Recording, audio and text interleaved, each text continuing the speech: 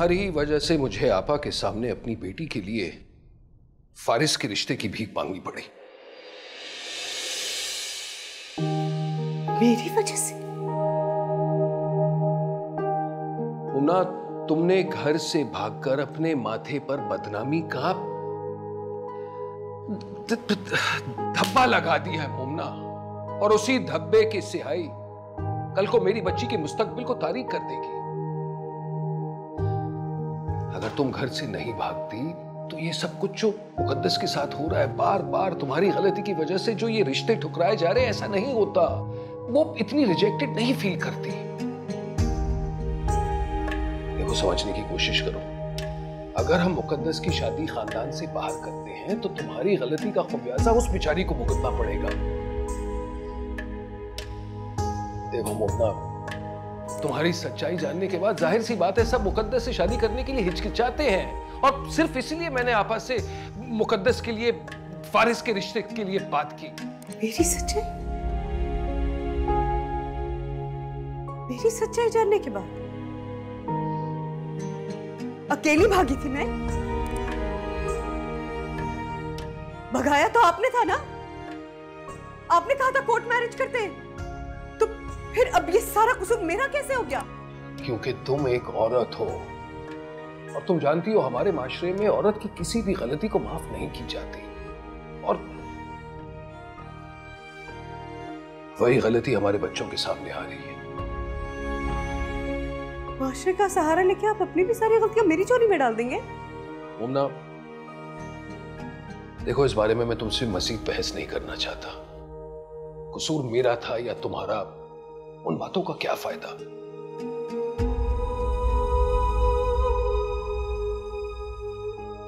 मैं फैसला कर चुका हूँ। मुकद्दस की शादी अब अब फारिस से ही होगी। और ये मेरा आखिरी फैसला है।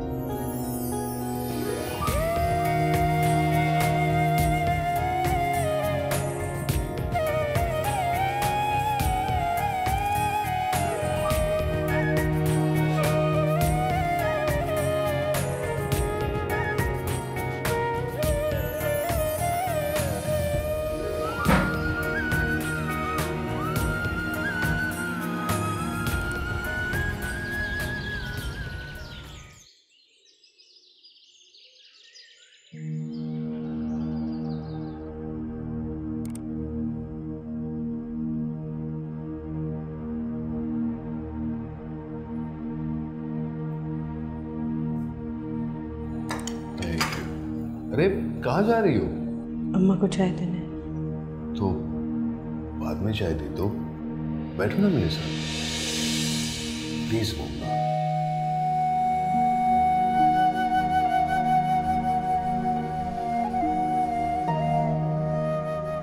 हो सके तो मुझे माफ़ कर दो मोमना कल रात मुझे मुझे तुमसे उस तरह बात नहीं करनी चाहिए थी।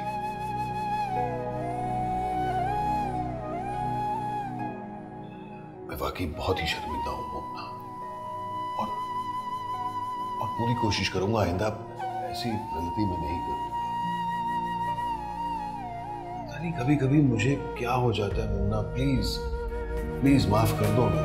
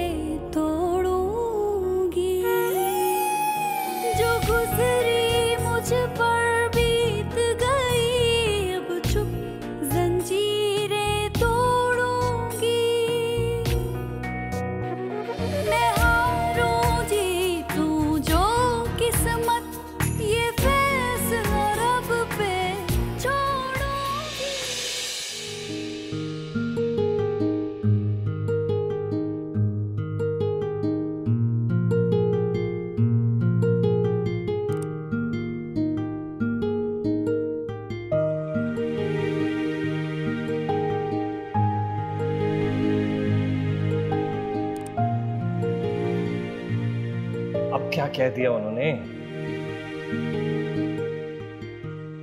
किसने? बोलो ये ऐसी शक्ल आपकी तब भी होती है ना उतरा हुआ चेहरा जब अबू आपसे कुछ कहते हैं।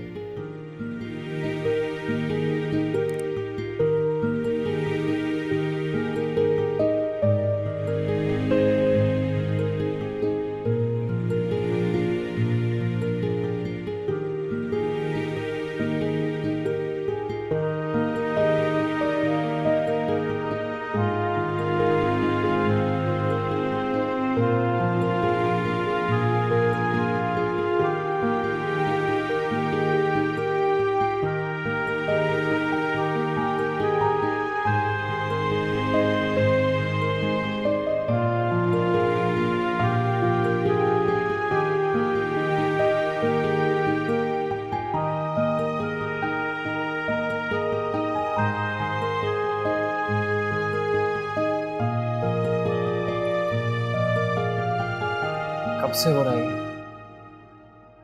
क्या? सर में दर्द।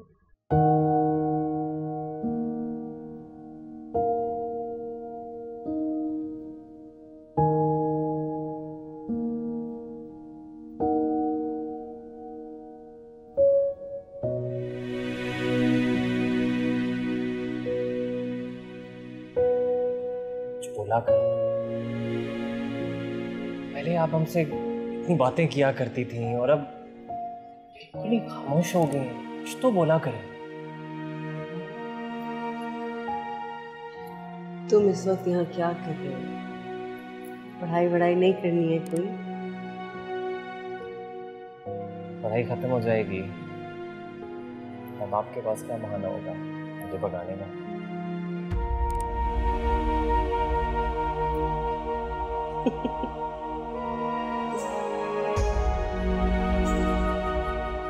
चला जाऊँ अकेले रहना चाहती हूँ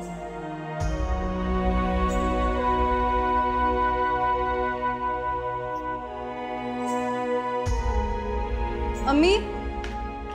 अम्मी? ये सब क्या हो रहा है इस घर में अम्मी? क्या हुआ बेटे? मुझे तो कुछ समझ नहीं आ रहा कोई इतना बदतमीज कैसे हो सकता है? कभी सोच भी नहीं सकती थी कि फारिस भाई इस तरह की बात करेंगे मुझसे। उनकी हिम्मत कैसे हुई मुझे प्रपोज करने की? वो तो ये भी कह रहे थे कि पुप्पो यहाँ आई है मेरी और फारिस भाई की शादी करवाने के लिए। मैं बता रही हूँ, मेरी और फारिस भाई की शादी नहीं हो सकती। मतलब हम दोनों का को कोई मैच नहीं है। शादी फारिस भाई से? वो ऐसा सोच भी कैसे सकती हैं? मेरा और फारिस भाई का कोई मैच नहीं है। आप प्लीज़ पप्पो को साफ़ मना कर दीजिए, मैं फारिस से हर किस शादी नहीं करूँगी।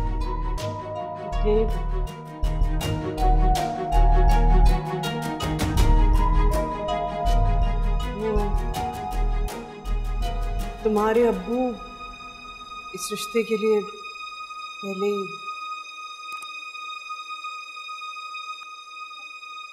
हाँ मैं कैसे अब अब्बू कर चुके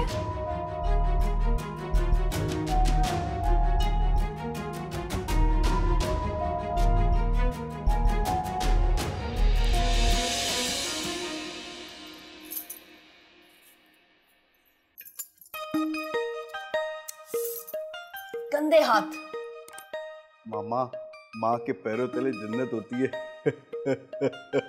सही कह रहे हैं आप लेकिन हाथ धो के। ये ले।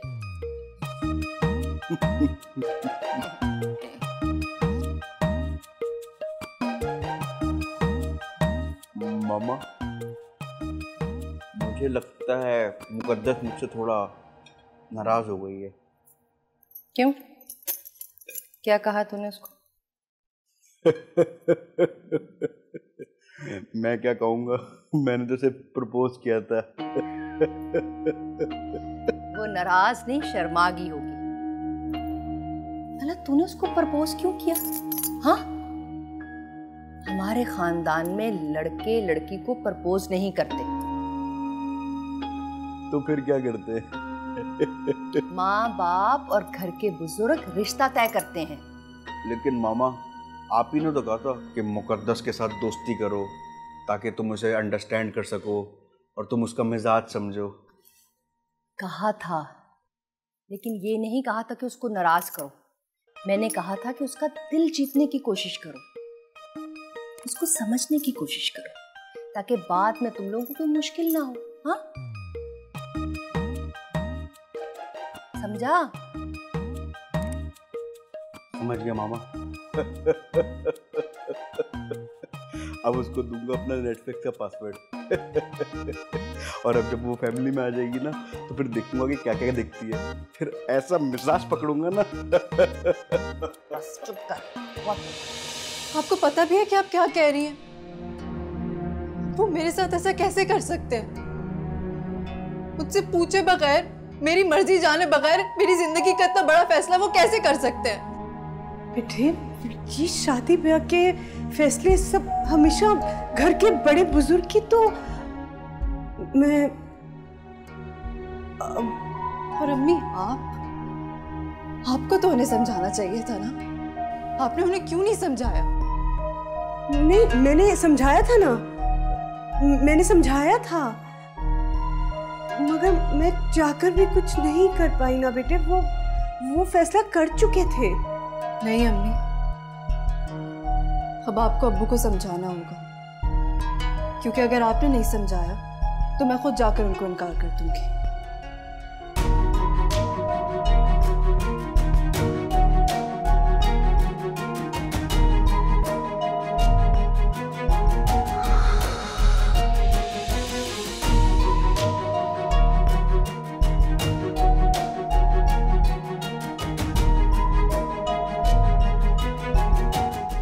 मुझे तुमसे ये उम्मीद नहीं थी सज्जाद, कि तुम अपनी भतीजे के बारे में सोचने के बजाय अपनी बेटी का भला सोचोगे। कम से कम अपने मरे हुए बड़े भाई का ही लिहाज कर लेते। अम्मा आप मुझे गलत समझ रही हैं, क्योंकि आप अच्छी तरह जानती हैं कि मैंने कभी भी अमल और मुकद्दस के दरमियान कोई फ़र्क नहीं रखा। अरे अमल को तो मैंने अपनी औलाद की तरह पाला है अम्मा लेकिन ये फैसला मैंने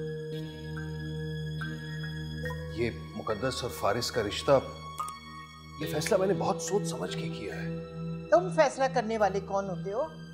अभी मैं मरी नहीं ज़िंदा हूँ।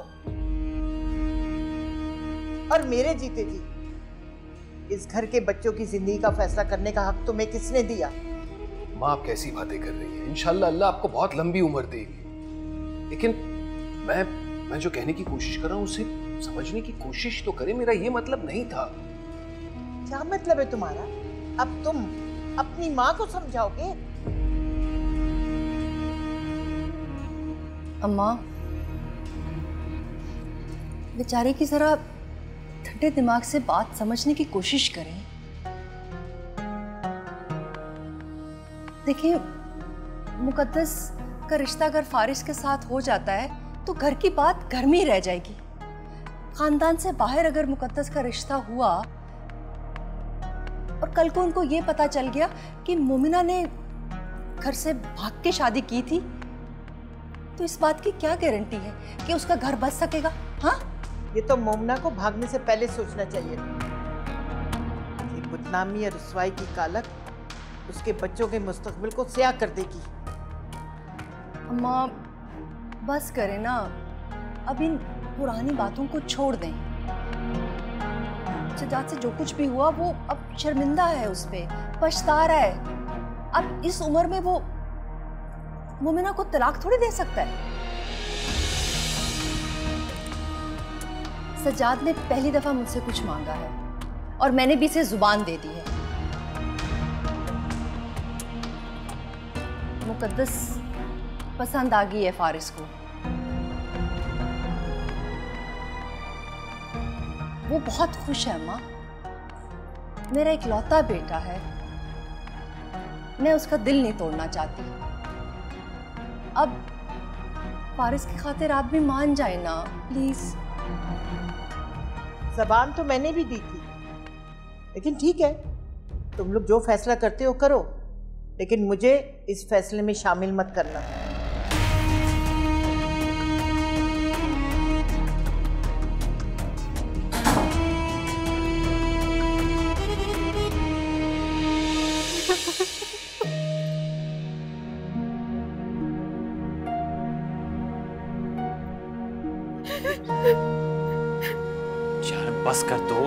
कितना रोगी। ये लो।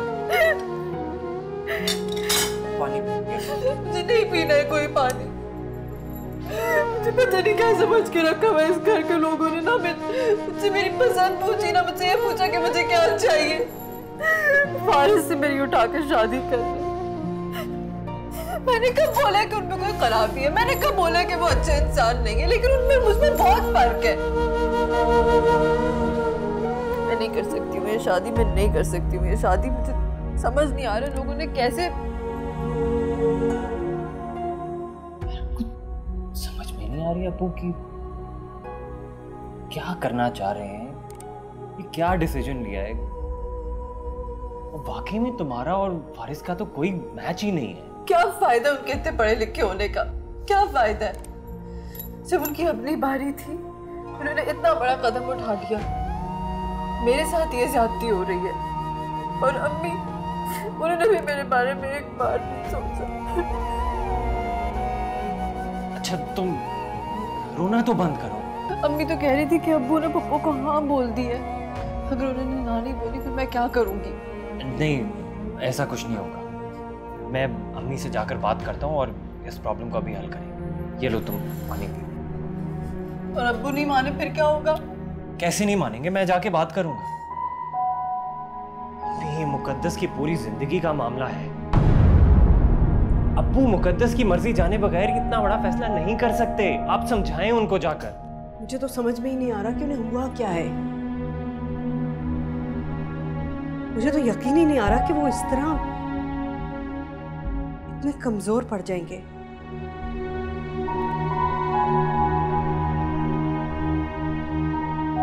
आज तो उन्होंने मुझसे वो सब भी कह दिया जो इल्ज़ाम उन्होंने मुझ पर पहले कभी नहीं लगाए।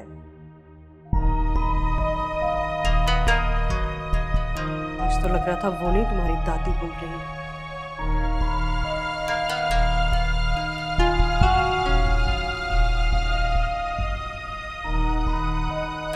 आपको मेरी बात बुरी लगेगी। लेकिन ये बात यहाँ तक पहुँचती ही नहीं। अगर शुरू से आपने इन लोगों से अपने हक के लिए लड़ा तो और अगर आप अबू से नहीं बात कर सकती तो मैं जाकर बात करता हूँ। मुकद्दस की पूरी ज़िंदगी का सवाल है उसकी खुशियों का सवाल है कुछ तो करना होगा। मैं अब्बू को ये गलत फैसला नहीं करने दूँगा। नहीं असद घर का माहौल बर्बाद हो जाएगा बेटे बिला वजह के लड़ाई झगड़े होंगे। तुम जानते नहीं हो इन लोगों को? आपको अभी भी घर के माहौल की पड़ी है घर का माहौल ना खराब हो, इसलिए मैं अपनी बहन की पूरी ज़िंदगी खराब कर दूँ।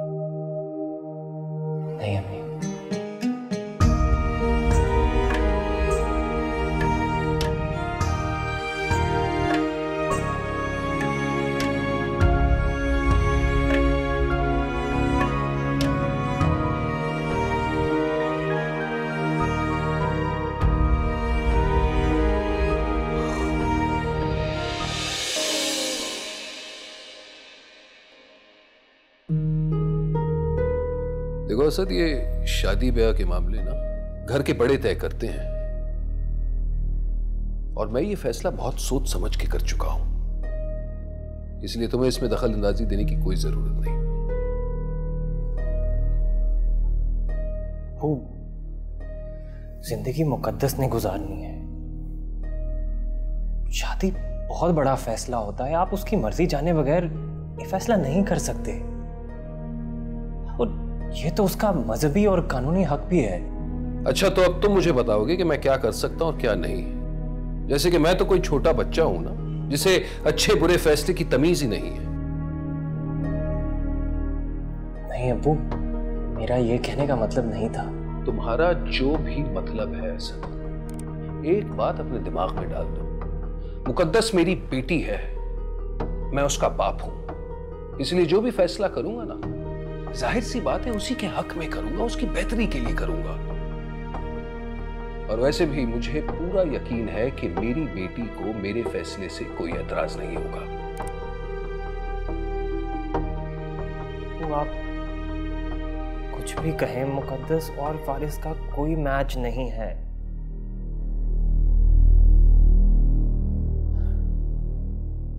मैं आपको मुकदस के साथ ये ज़्यादा नहीं करने दूँगा।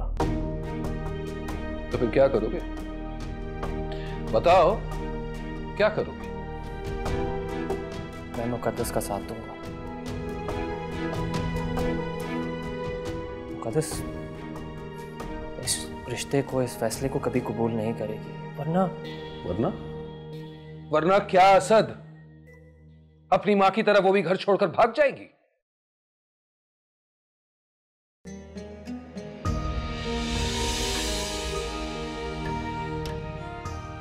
वो मैं अम्मी के बारे में ऐसी कोई फजूल बात बर्दाश्त नहीं करूँगा।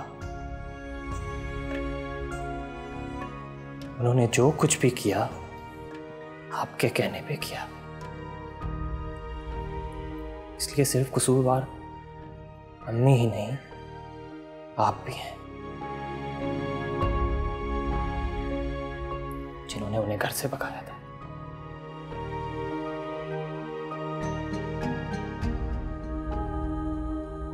निकल जाओ कमरे से।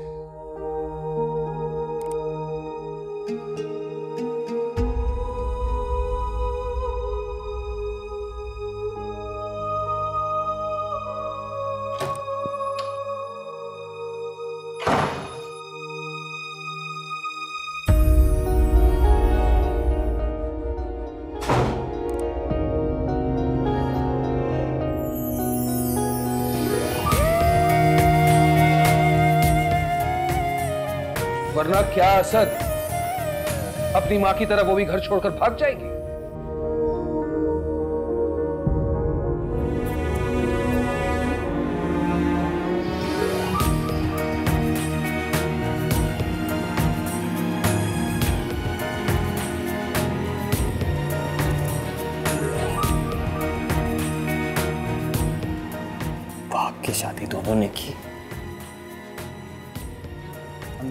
से अबू ने भगाया।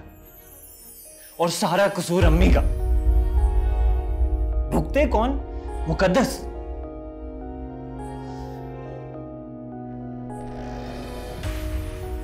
कौन समझाए इनको यार?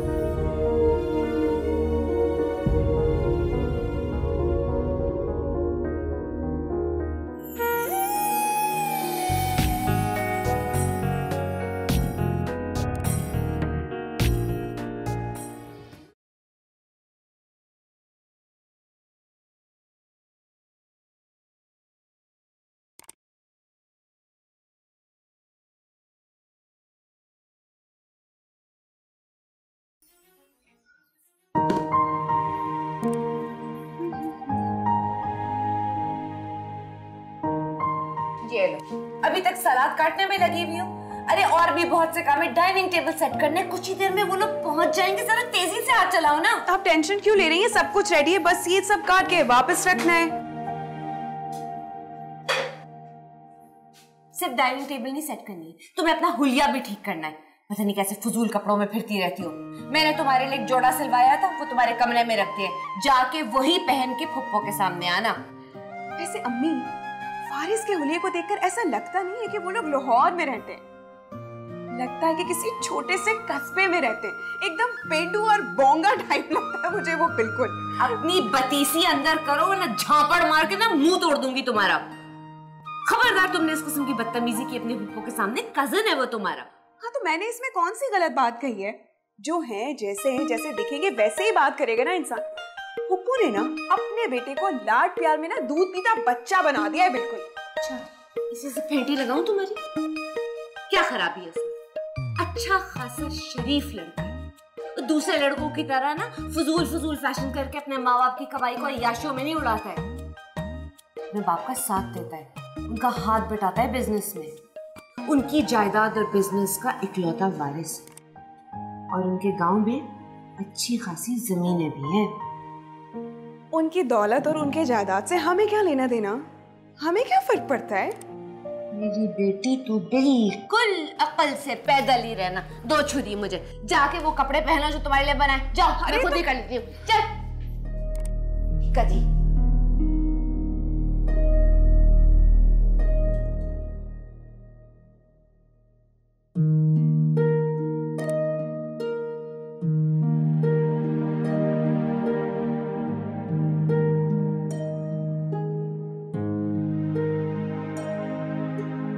वो मैं अम्मी के बारे में ऐसी कोई फजूल बात बर्दाश्त नहीं करूँगा।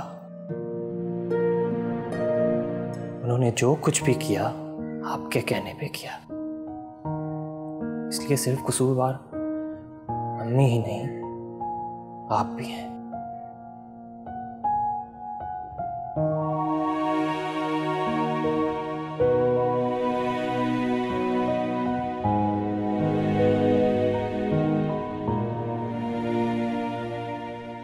ठीक ही तो कह रहा था असद क्यों कह दिया मैंने मुमना से वो सब? काश मैं अपनी बच्ची के लिए सब ठीक कर सकता। काश मुझे उसके लिए बेजोड़ रिश्ता ना जोड़ना पड़ता। काश।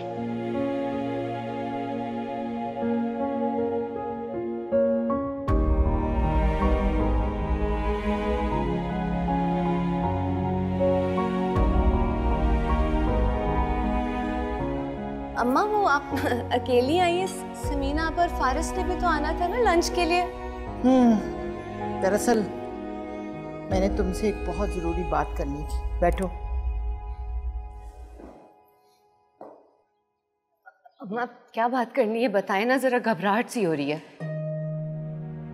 बात असल में ये है फौजिया कि मैंने बहुत कोशिश की समीना को समझाने की।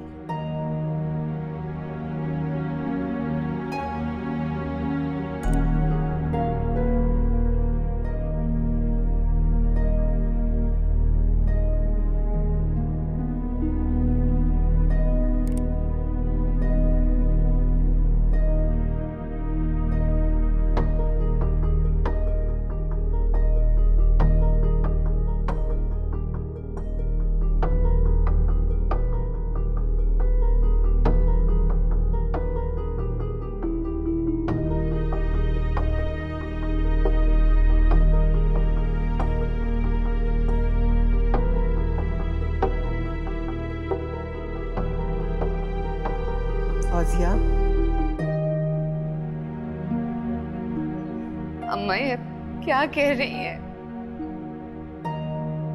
मेरी यतीम अमल के साथ ऐसे कैसे हो सकता है?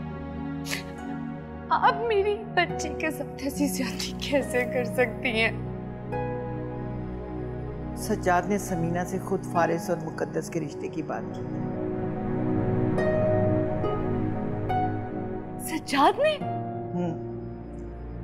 और समीना कराची इसीलिए आई है रिश्ते की बात करने मुकद्दस और की। और अब वो मंगनी करके ही जाएगी यहाँ से।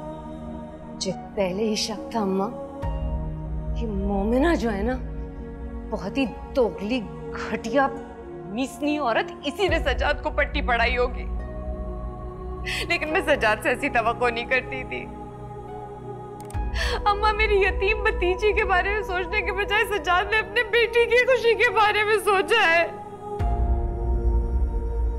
और आप?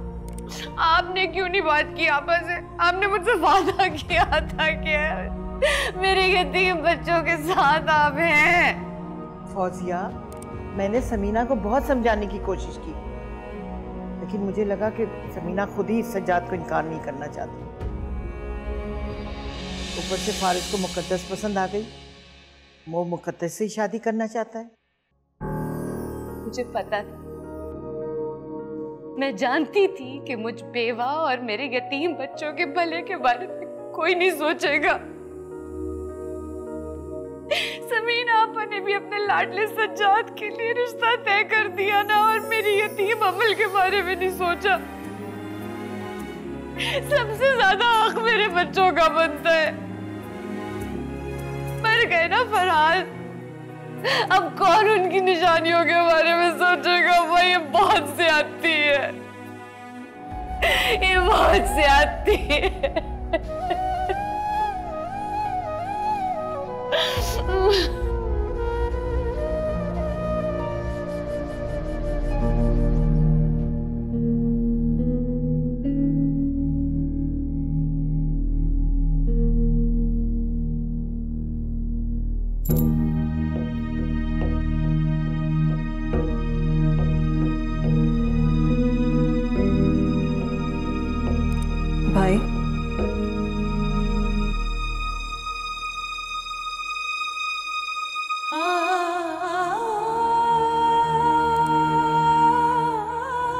बात किया आपने?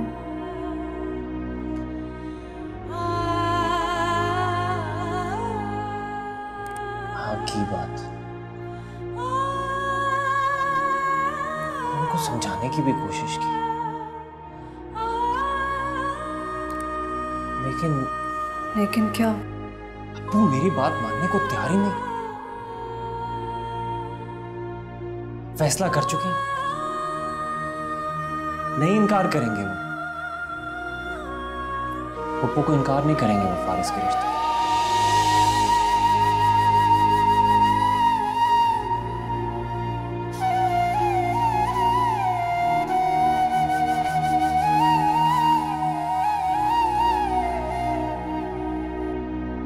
क्या होगा? तुम्हें जाकर खुद इनकार करना।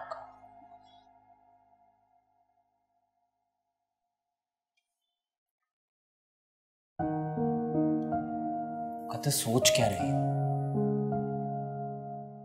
तुम्हारी पूरी ज़िंदगी का मामला है। तुम्हें जाकर अबू से खुद बात करनी होगी। तुम्हें पूरा हक है अपनी ज़िंदगी गुजारने का। अपनी मर्ज़ी से अपनी ज़िंदगी गुजार। मुकद्दस समझ रही हो मेरी?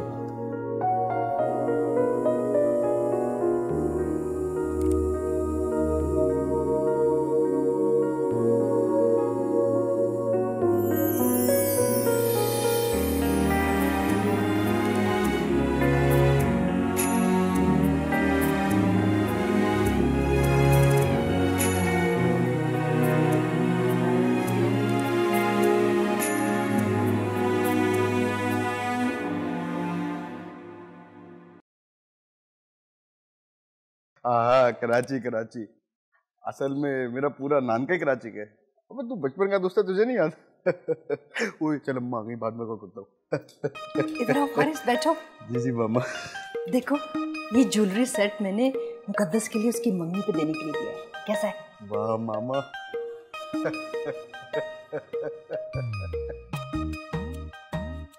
और मुकद्दस पे लगेगा भी फिट इधर वापस कर मुझे। मगर मामा क्या मगर? किसी ने तुझे कुछ कहा है? मामा हमें क्या बोलेगा कोई? बस वो नानों का मोड देख के ऐसा लग रहा है कि शायद वो मेरे और मुकद्दस की मंगनी से इतना खुश नहीं है। अगर कुछ हुआ है तो प्लीज़ मुझे आप बता सकती हैं। अरे पागल मैं तुझसे भला कुछ क्यों छुपाऊँगी? ऐसी कोई बात भी नहीं है। दरअसल वो अम्मा चाहती हैं कि तुम्हारी शादी अमल से हो जाए। और फौजिया भाभी भी यही चाहती हैं। और मैं क्या चाहता हूँ वो? तुम्हें परेशान होने की कोई ज़रूरत नहीं है। क्योंकि मेरे लिए तुम्हारी ख्वाहिश और खुशी से बढ़कर कुछ नहीं है। और ये बात मैंने अम्मा को भी बता दी है। रही बात फौजिया भाभी की तो उनको मैं समझा दूँगी। और अब तुम रिलैक्स हो जाओ। अम्मा तुमसे बहुत प्यार करती हैं। तुम्हारी खुशी की खातिर ना उन्हें कोई एतराज़ नहीं है।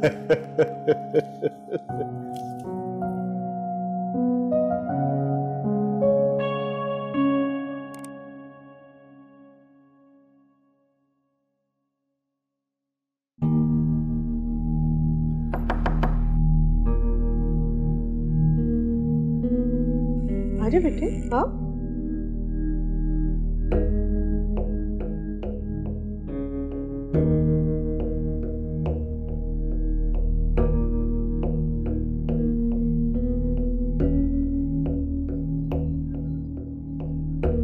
अब्बू मुझे आपसे कुछ बात करनी है।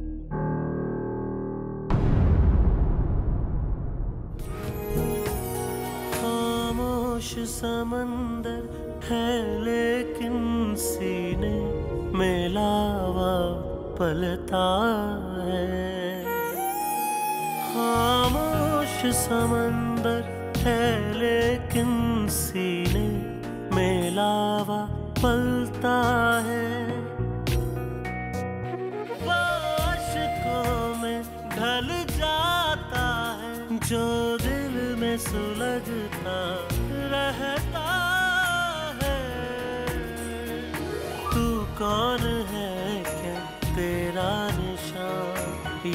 है क्या